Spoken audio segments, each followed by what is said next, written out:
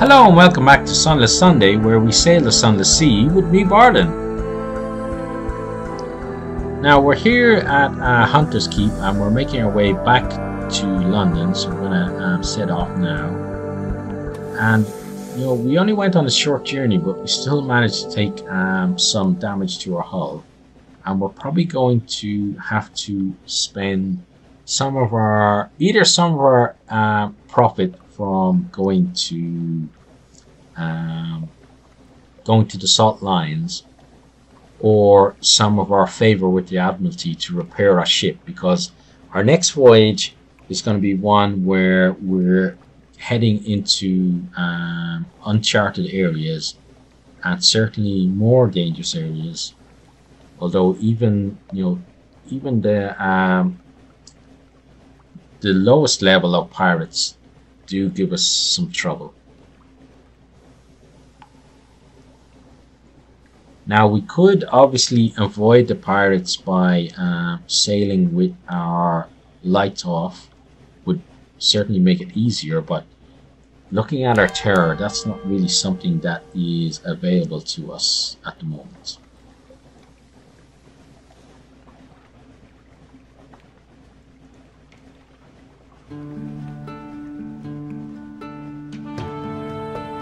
So we had a short little voyage. We did a bit of a triangle up to um, across to um, Salt Lions, back down to Hunter's Keep and the Sisters, and now back to London. And the little jaunt is going to um, supply us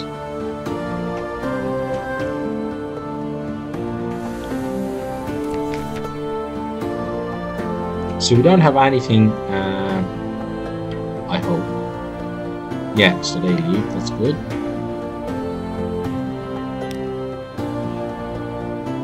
So our terror is reduced to 50, which is nice. But we'd rather have it way down rather than just at 50. Okay, flee the nightmare. Turn the helm and flee across the milk bright sea. This will reduce nightmare strength. If it reaches zero, the nightmare will fade entirely. If you have any restful nights, they'll reduce the difficulty. Okay, so recurring nightmare watched. An escape. The sea churns in your wake. You pull away from the eye into the shallower waters of waking, but the terror clings. Okay, we succeeded. Um, we gained 3 terror, um, so we're up to 53 now. And we lost 1 restful night. Okay. Now let's um, head to the Admiralty. Submit our reports. Okay, so we've got Hunter's, Hunter's Keep, Venderbight, the Salt Lions,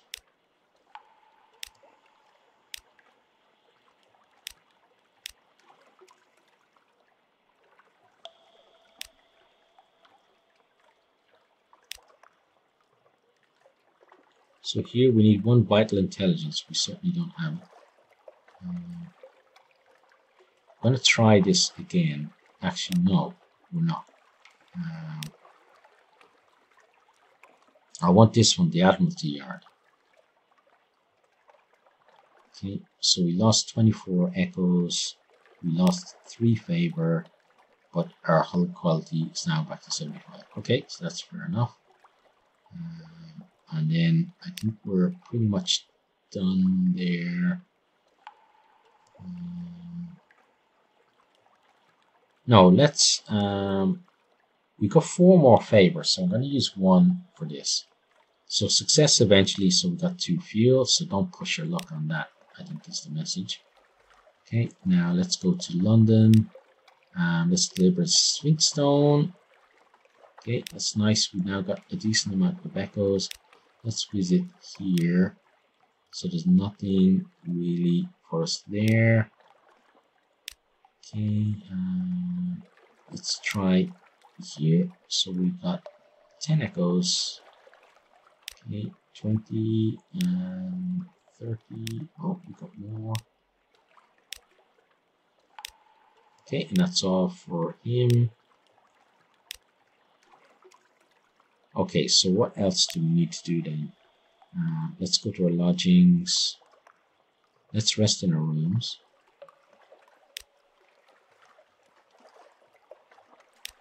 Okay, then let's rest again.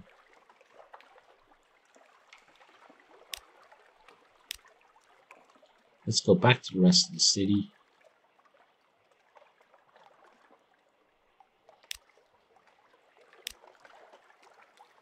So we know, I don't know how we're supposed to um, go out and cruise. So, how about, so exchange.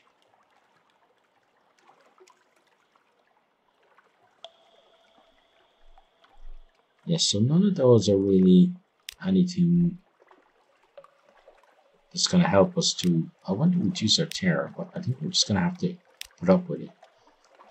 So because of that, um, we're going to get ourselves, so the idea for this one here is to stay out for a long time. So it needs, it means we need supplies, we need fuel,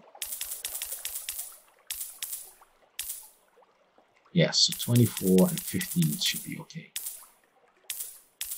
And what we're going to do is... About this one? Yeah, that's not... Okay. Um, what we're going to do is to head down south, collect some reports, uh, but then head into these areas that we haven't been to before. Because maybe who knows? Maybe Nuncio's there.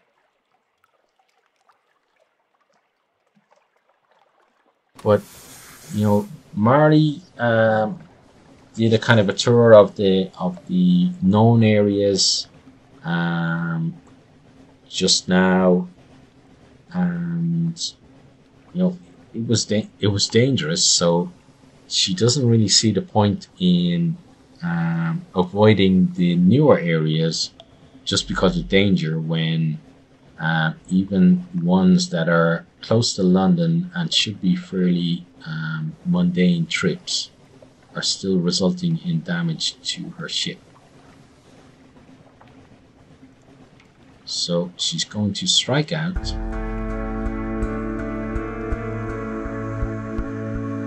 So, oh, we want to go to the lighthouse on the way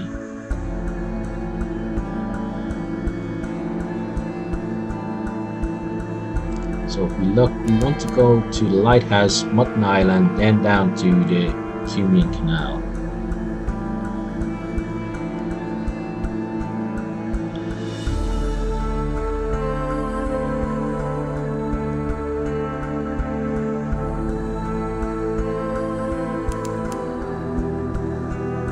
Bad Stevener's Abyss. I wonder if there was a good Stevener.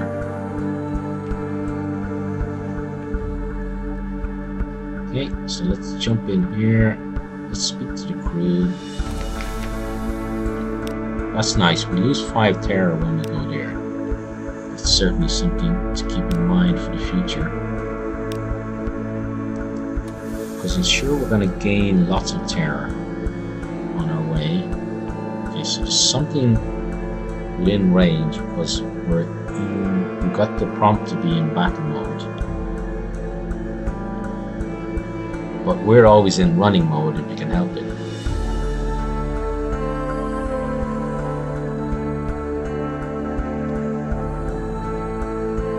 This has been uh, a pretty long session for me, but I'm enjoying being immersed in the game for a bit longer than usual. Normally I record maybe four episodes on the trot, um, but here um, I think this is my seventh one so far, and I'm going to be doing maybe a couple more as well. Sorry, excuse the cough there. Bit of a dry throat. but I get to fix it with some tea, which is nice. Okay, so we're gonna try. We're hoping for the Z-Bat and not the pig, I think, uh, with the crawling snare. So, a darkness. Oh, it's something new. Okay. Uh, three of the false stars wink out to, altogether, as suddenly as closed eyes. The pattern that remains is of hopeless and mean is as hopeless and meaningless as cast eye. Somewhere a sailor begins to sob. So we gain two terror. We were unlucky.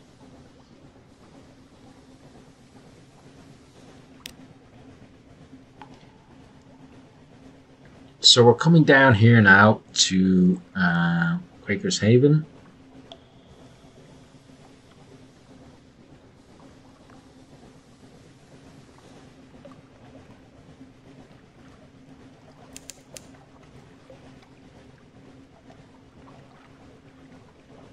And we're going to cut the engine and dock. So we can't do anything about a wandering person. So he glances nervously back as the Cock and Magpie at the Cock and Magpie, but his handshake is strong. Okay, so we need um, unlock with low Barnet. Okay.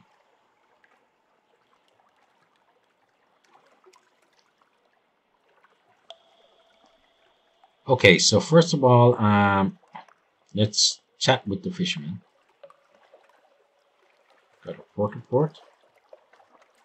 Now, I want to visit the hilltop because I didn't do that um, last time. There's not much wind on the Unterzee, but Mutton Island suffers eerie gusts and buffets from an inexplicably local fragment of weather. And the air on the hilltop sometimes carries interesting scents. Toasting the wind, you stand on a cliff top, looking over the little village Smoke from the chimney of the cock and magpie drifts straight upwards. As you watch, the smoke tilts. The sudden wind thins it to a pencil smudge, then nothing. The wind screams unexpectedly, like a god cut in half. What a noise! It must be the caves around the island channeling the air. At least, that's the most comforting explanation. Below you, the locals each take a nip from a shared flask and make a toast towards the mainland. The wind is a southerly. So we gain two terror. Okay, so we need to remember that's going to give us terror if we do that. Okay, um, pick up the wretched mug. So I think it's about time. I don't like cats. Let me just say it now. I don't like cats. Um, but I think it's about time that our comatose ferret was um, replaced.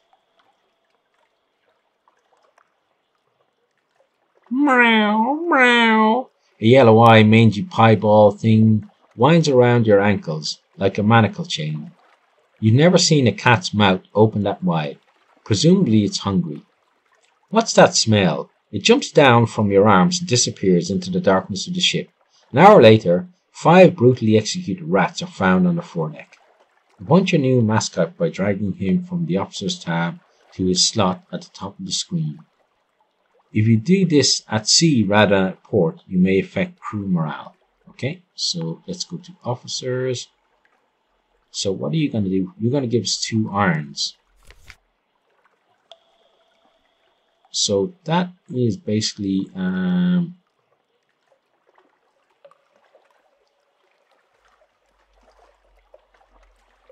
it's not really worth. I think we're going to stick so the the mug is going to stay there um, until we can trade them for something else, I guess.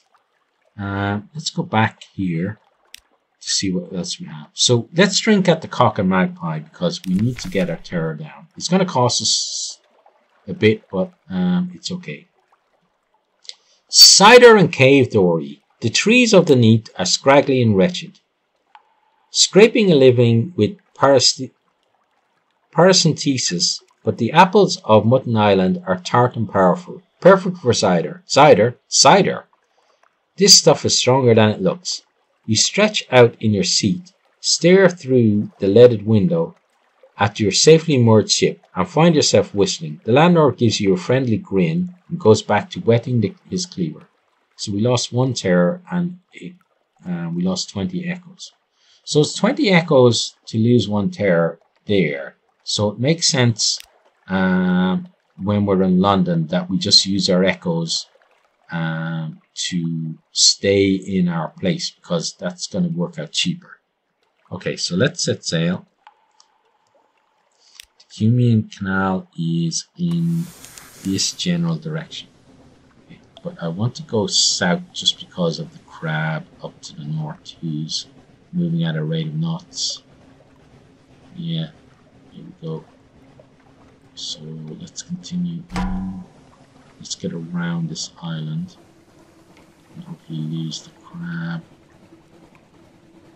Nothing to see here, Mr. Crab. No, there's definitely no ship for you to worry about.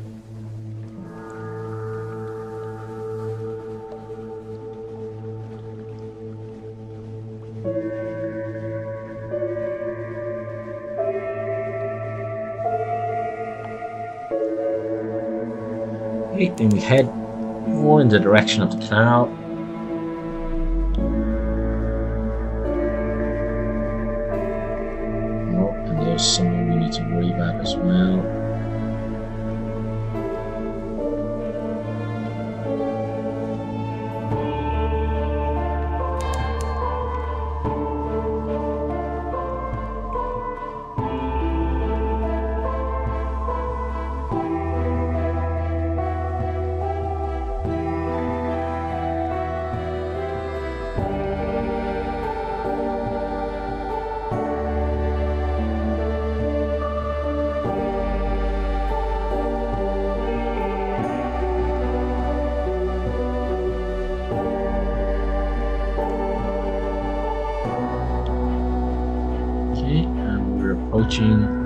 The dock here.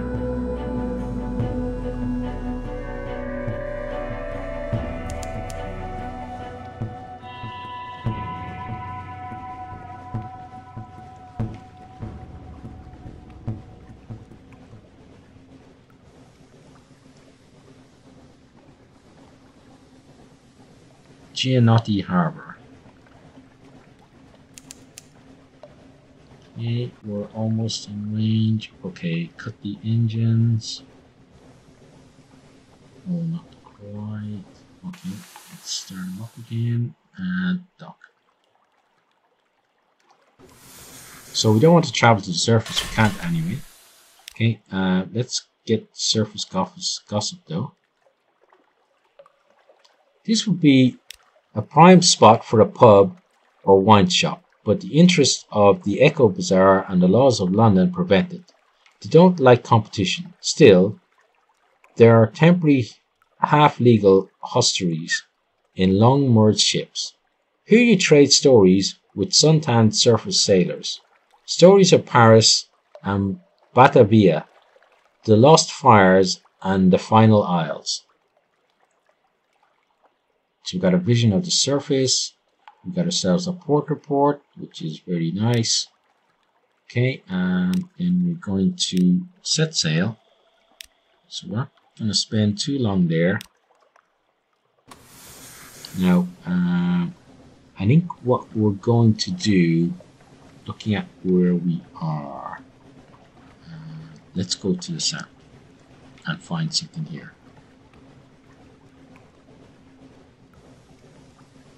We obviously have the Iron Republic down there as well, um, which is somewhere where we might call in. But we do have to be um, mindful of how much we have in the way of supplies. We're down to nine supplies. Soon to be eight, so we don't we don't want to be going too far south. We do want to see if there's something in this area.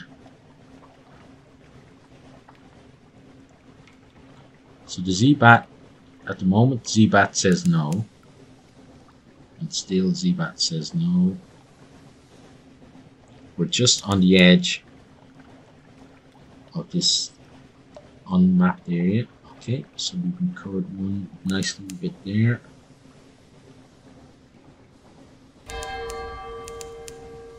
Going to head more to the east and start sending the Zibat out. See, let's continue south until we get. I want to get as much of this area mapped as possible.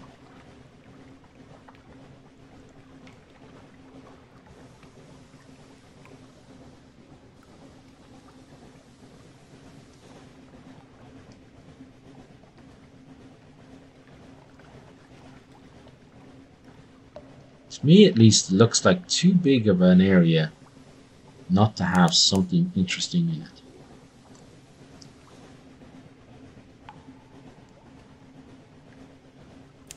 The Zibat is disputing that fact at the moment.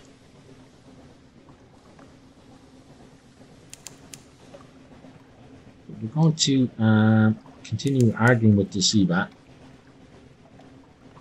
We might have to pull in at the Unterstroom if we can't find anything else. So we're getting pretty close to there right now.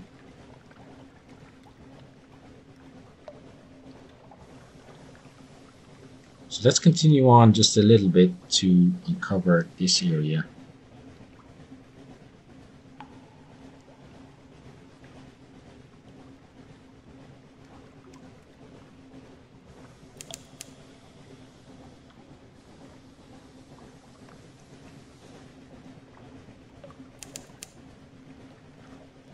Okay, and then uh, let's check the map.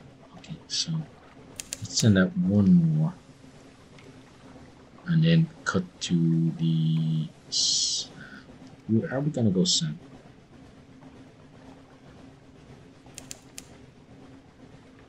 So let's think about how much we have in the way of supplies. And that, I think, means we're going north.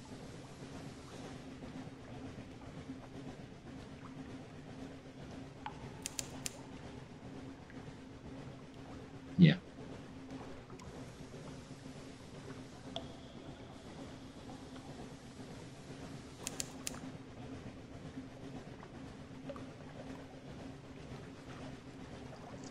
I don't think um, starvation and possibly eating our crew is something that Mari wants to think about at the moment. So instead, she's going to um,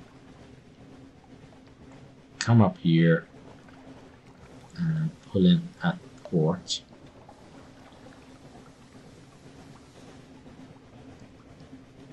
Yeah, so the canal in that area is it's a long way out of the way, I think, is a bit of the problem with it. Um, you almost have to be going want to be going there to be heading in that direction, I think.